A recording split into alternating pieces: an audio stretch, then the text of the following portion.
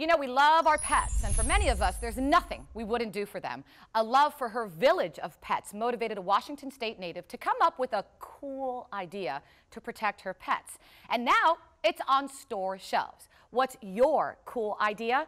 Our guest this morning is an expert at helping everyday people like you and me to craft their idea and turn that idea into a real product. Meet George Davison, founder and CEO of Davison. Welcome back. Thank you. I Thanks love when you having come me. back because we have so much fun together.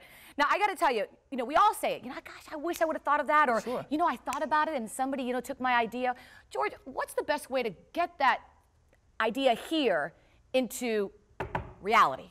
Well, first thing, believe in yourself. If you've stumbled on an idea and you think it's it's your time to try and chase that, best thing is just to build up that anticipation inside of yourself and then reach out to find someone like myself. I've been doing this for a lot of years, and uh, we have quite a few different people that uh, know all the different areas that you have to be involved with to pull it off. to pull it off. And you do pull it off. And you know what? A lot of people say, yeah, yeah, sure. But you know, you've got something that's great. It's a webisode series called Dare to Invent. Tell me about it because it really does show right. the beginning to the end. Love it. It's uh, it's a journey all about like when someone like yourself has an idea, they come to us, and you're going to see a story today about uh, Sharon, and she has an idea uh, for her pets, and uh, we make this journey come to life, and you get to see it from A to Z all the way through the whole story. I want to see it. All right. Let's take a look. All right. Meet Sharon Jones. She's from Washington. She's a pet lover and a bit of an outdoors nut who goes camping every weekend. Her biggest problem is finding a spot in her tent for all of her pets. I mean, imagine being crammed in a tent with more than 10 of your furry friends. You wouldn't be able to tell who's who. We have Jack and Jill, Cy and Phi, oh, so Cy Phi, Pete, Sylvester McGillicuddy, Jacob E, Blue, Miss, Sammy, and I'm missing somebody. I know I'm missing somebody. See what I mean? Someone's first reaction to hearing Sharon's problem might be, well, why don't you just leave your pets at home? But they really wouldn't be a pet lover, would they? Portable dog and cat beds, they've been around forever, but they don't protect pets from bad weather. Sharon came up with the idea to create a new type of portable dog tent that pet owners can take with them on camping trips so their pets have a comfortable and safe place to sleep. Sharon's inspiration for this tent came to her when she was at the store and she saw the little dome tents on the store shelf that they used to represent the larger tents. She saw that and wondered why she couldn't have it for pets so she could take all of her pets camping with her. And that was my idea. I was listening to other people around me saying, oh, that would be so cool. Shortly after Sharon submitted her idea to us, the roof on her house started to leak. No wonder she liked to go camping so much. Her house was falling apart. The pressure was on to come up with a killer product so Sharon could repair her roof. So we decided to take a look at these small tents that Sharon suggested, but we noticed they're too small and don't keep pets dry. So we needed to come up with a solution to keep pets cool, comfortable, and dry. We came up with the modern day doghouse. The floor is a couple inches off the ground and made of a flexible and breathable fabric, so there's plenty of ventilation for our pet. The roof also has vents that open and close depending on the weather conditions. We ended up calling it the Cool Cot House. I love that it was portable and could be built in a matter of minutes, and I wanted to get it in stores immediately. Whoa, not so fast, Dan. First, we need to test it and make sure it's a winner. We're getting ready to test out the Cool Cot house. I thought what we'd do is have our stunt dummy Clay climb in there. I knew that this is where this was going. You gonna fit Clay?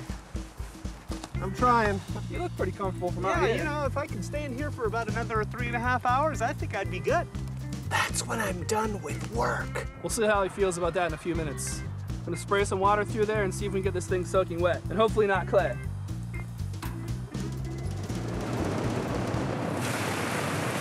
So far, so good. Everything from here back is staying dry. All right, let's kick it up a notch. We're gonna try to get the effect of a hailstorm. You know, I don't remember Mother Nature being this much of a bitch. This, this storm is worse than I expected. Hell yeah, it is. How did it hold up to the hail? Very good, although this was the most aggressive, focused hail that I have ever experienced. We open up these vent flaps right here, get a little air blowing through. I could stay here all day long. I'm, uh, I'm pretty cozy. So this is this one of the better testing scenes you've done so far, Clay? Yeah, I think I'm getting out of this one pretty much unscathed.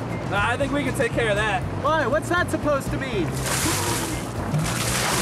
Oh, Overall, the test was a great success. We presented Sharon's idea to Hugs Pet Products, and they wanted to get it on store shelves immediately. Seeing the finished product for the first time blew me away. Way better than my original concept, way. You never know when the next great idea is going to come along. Sharon's Cool Cot House, it's going to improve the lives of pets and pet owners across the world. We flew Sharon to Inventionland so we could all celebrate the success of her idea. We also wanted to present her with her first royalty check. That's your first royalty This check. This is the first royalty check of the product.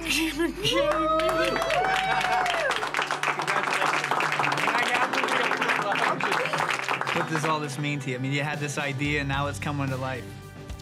Now it means that I finally have a place that we can enjoy and the roof doesn't leak and the floors aren't caving in. It's some place where we can be safe. And that couldn't have happened without you guys. And I'm so grateful. Thank you. Yeah. Hey, this has been such a great success for Sharon.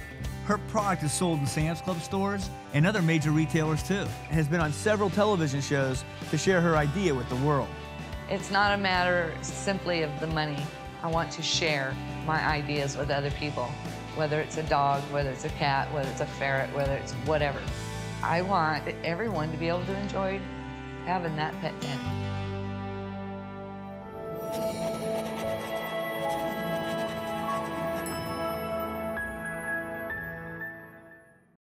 You know what I love about this is it's not easy, but it is possible. Yes. And it does happen. It does happen, and Sharon's a she's blessed in so many different ways.